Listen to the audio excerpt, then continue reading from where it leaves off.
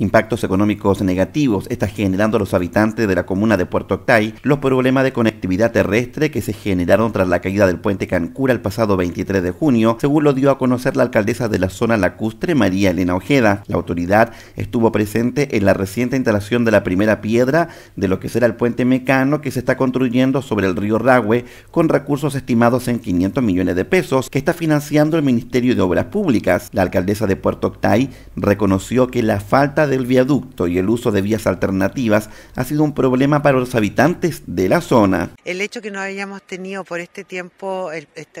posibilidad de puente y eso significa comunicación terrestre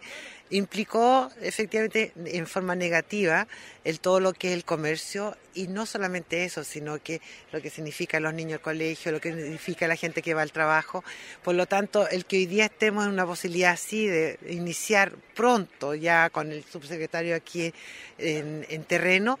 nos va a dar una perspectiva positiva con respecto a todo lo que es el turismo. La alcaldesa de Puerto Octay explicó que Precisamente en el mes de septiembre comienzan a llegar los turistas a visitar la zona y desde ahí el flujo de personas va en permanente aumento en la medida que se acerca la temporada de vacaciones. Lo normal que ya en septiembre tú empiezas a notar un movimiento mayor, sobre todo con los días tan lindos que la gente está haciendo de los, lugares cercanos a Osorno o cualquier otro, Puerto Vara, Frutillar, como un lugar de paseo donde dan la vuelta al lago, la cuenca al lago. Eh, pasando por Cascada, Ensenada y así hasta llegar a Puerto Octay e inclusive Osorno. O sea, la verdad que septiembre es el, inicio junto con la primavera